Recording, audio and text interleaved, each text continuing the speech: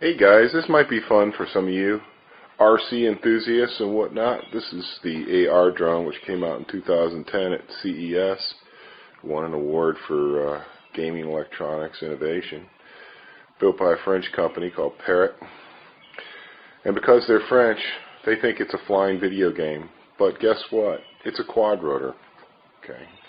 Anyway, and uh, one of the cool things people like to do to their, their drones is light it up. You got to think about how many milliamps you're drawing, though. So I want to give a shout out to my buddy Spitz that I did the LED deck lighting with because he hooked me up with, he has two of these. He hooked me up with one of his AR drones. He hooked me up with props, gears, an extra battery. Batteries are 40 bucks each, I think, 30, 40 bucks each. So he gave me an extra battery, some spare parts, and an unused brand new hull. Look, it still has the plastic film on it. So we still have a new hull here. And I bought a hull to customize. So we're going to have a custom painted hull.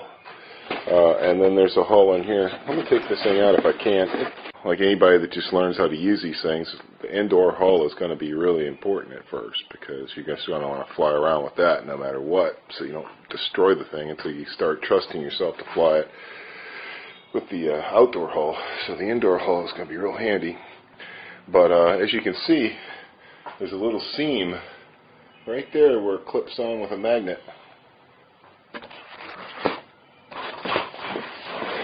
And that would be a cool place for these little side emitters, wouldn't you say?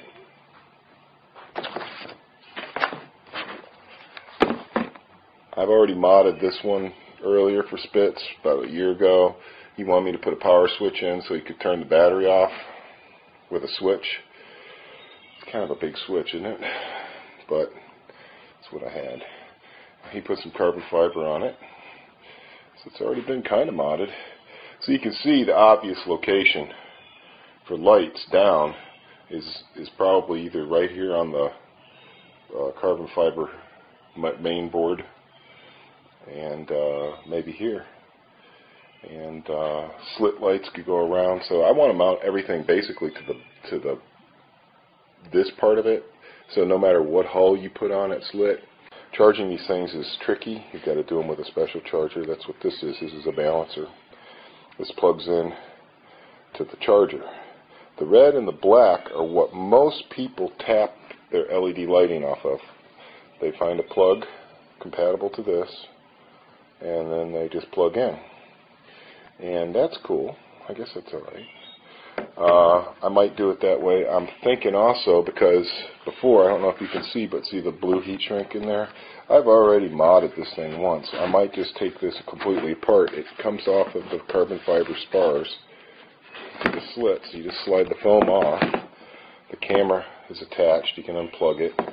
It's also got a thing here you can, it's literally a ribbon cable that goes to it.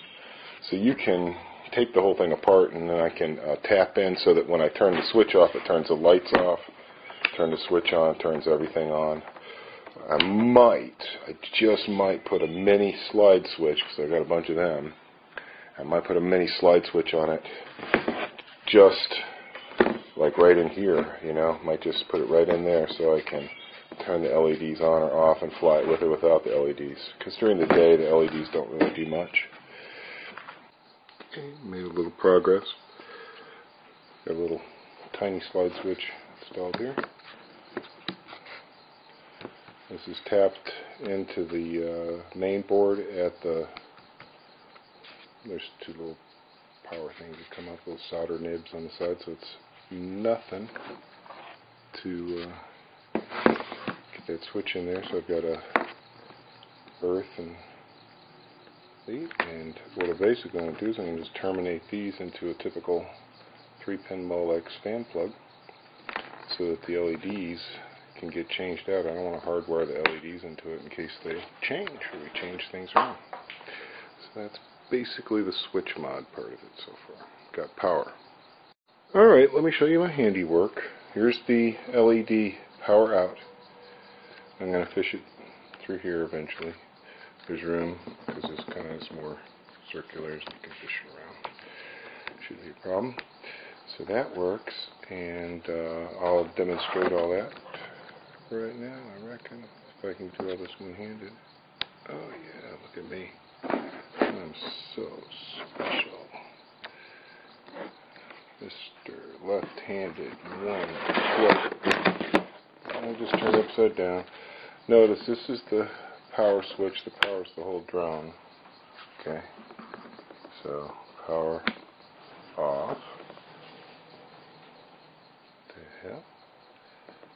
And we have lights. So you can see the little slide switch is powering lights.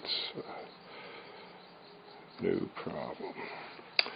So, my work is done as far as the actual hard wiring of things together. Get that battery off there.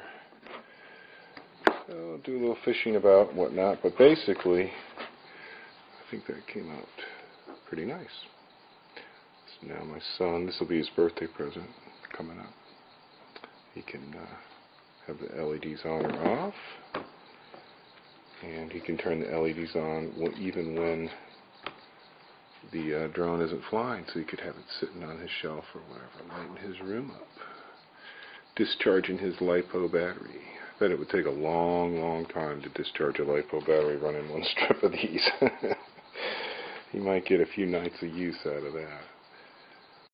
Well, my friends, it's late, and before I do something stupid like put one of these foam hulls on a soldering iron or something because I'm so tired, I'm going to stop. So I'm going to show you. Got my little plug fished, and the, the hull goes right on it. It's no problem.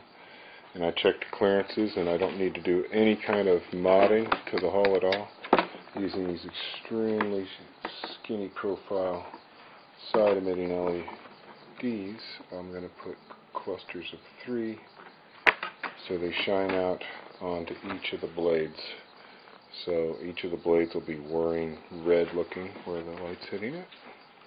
And uh, I'm thinking about putting some uh, bottom lighting on here. I have some white lights. I might just put a strip of three right across the bottom. But I'm not sure. I'll start off with the red and we'll take it from there.